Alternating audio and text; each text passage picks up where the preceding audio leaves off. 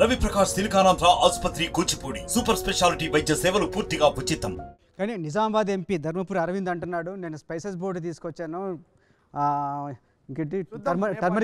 Turmeric board తీసుకొచ్చాను కాబట్టి గెలుపు నాదనే ధీమాతో. కోసమే డిపాజిట్ రాదు సరి. ఎక్కడుంది స్పైసీ బోర్డు? ఎక్కడుంది టర్మరిక్ బోర్డు ఎక్కడుంది సార్? ఆ ప్రధానమంత్రి ప్రధానమంత్రి ఇప్పుడు అనౌన్స్ చేశారు కదా. హామీ ఇచ్చారు. మేము మేము ఇచ్చాము హామీలు. మేము ఇల్లు కట్టలేం కాబట్టి మమ్మల్ని హామీలు ఇచ్చి ఇల్లు కట్టలేని ఓడగొట్టిరు. ఇలా ఆయన కట్టాలి కదా? ఎడగట్టిండు కొరుట్లలో ఉందా జగిత్యాలలో ఉందా ఆర్మూర్లు ఉందా బాల్కొండలు ఉందా బోధనలు ఉందా నిజామాబాద్ రూరల్ ఉందా నిజామాబాద్ టౌన్లు ఉందా యాడుంది మౌలి గారు? మన ఆర్టీవీ వాళ్ళని చెప్పండి నిజామాబాద్ ఇన్ఛార్జ్. ఎక్కడుందో? ఒక ఫోటో తీసి చూపిమని చెప్పండి నాకు. రేపటిదాకా అవకాశం ఇస్తా మీకు. రేపటిదాకా మీకు సమయం ఇస్తా. ప పసుపు బోర్డు ఎక్కడుందని ఆయన ఒక fake and false and fraud MP అండి. చదివింది ఫేక్.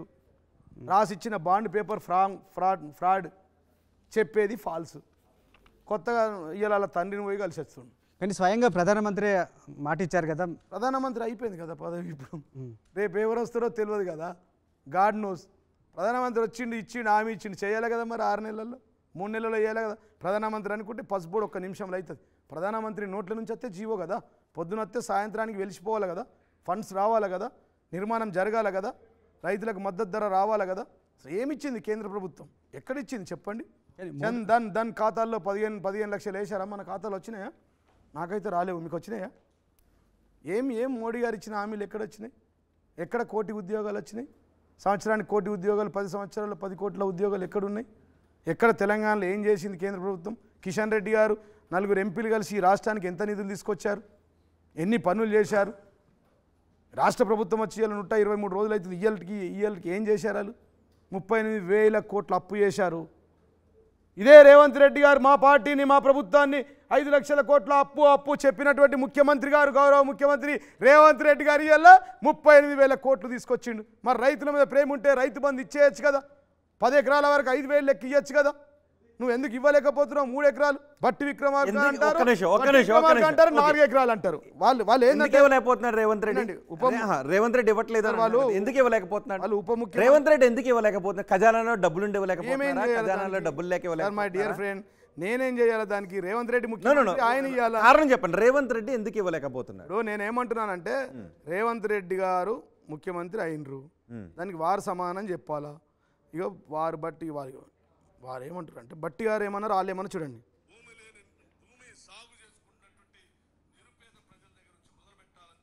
భూమి సాగు చేసుకుంటున్నటువంటి నిరుపేద ప్రజల దగ్గర నుంచి మొదలు పెట్టాలని చెప్పి చాలా స్పష్టంగా ముందుగా ఒకట ఒక ఎకరం ఉన్నటువంటి వ్యక్తులందరికీ ఈరోజు రైతు బంధు ఇచ్చేసాం రెండు ఎకరాలు ఉన్న వాళ్ళకి కంప్లీట్ చేశాం. మూడు ఎకరాల వరకు ఉన్న వాళ్ళందరూ కూడా కంప్లీట్ చేశాం.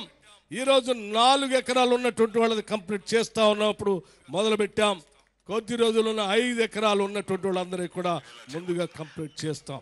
భూమి సాగు చేసుకుంటున్నటువంటి నిరుపేద ప్రజలు అవసరం లేదు.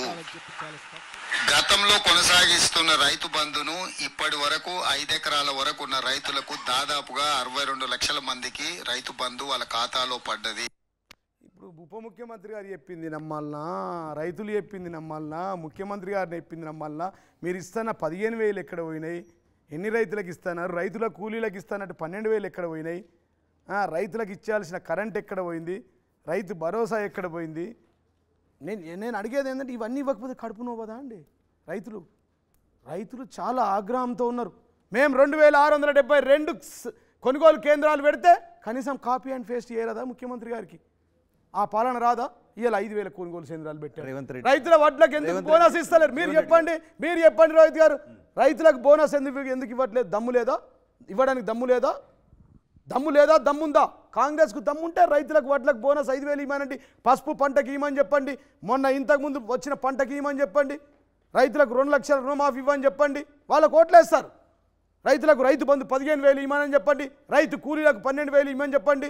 మహిళలకు రెండు వేల ఐదు వందలు ఇవ్వమని చెప్పండి. మా అక్క అమ్మ తల్లులకు నాలుగు వేలు ఇవ్వమని చెప్పండి. వాళ్ళనే గెలిపిస్తారు వాళ్ళే గెలిచిపోతారు. ఓకే. ఇస్తే వారికి ఏమని. చెప్పండి ఇవ్వకపోతే. మాకేమని చెప్పండి కారు గుర్తు. Okay okay. రేపు ముందున్నాయి మనకి లోక్సభ ఎన్నికలు ఉన్నాయి. సో లోక్సభ ఎన్నికల్లో ప్రజలు ఎటువంటి తీర్పిస్తారనేది కూడా మనకి ఈ ఇప్పటివరకు జరిగిన పాలనకి ఎటువంటి తీర్పిస్తారనేది కూడా మనకి క్లియర్గా కనిపిస్తుంది. జూన్ నాలుగో తారీఖున. బిఫోర్ దట్ ఒకసారి బీఆర్ఎస్ ఎల్పీని కాంగ్రెస్లో విలీనం చేయించేస్తామని అంటున్నారు. ఇరవై నుంచి ఇరవై ఐదు మంది ఎమ్మెల్యేలు మాకు టచ్లో ఉన్నారని ఉత్తమ్ కుమార్ రెడ్డి అంటున్నారు.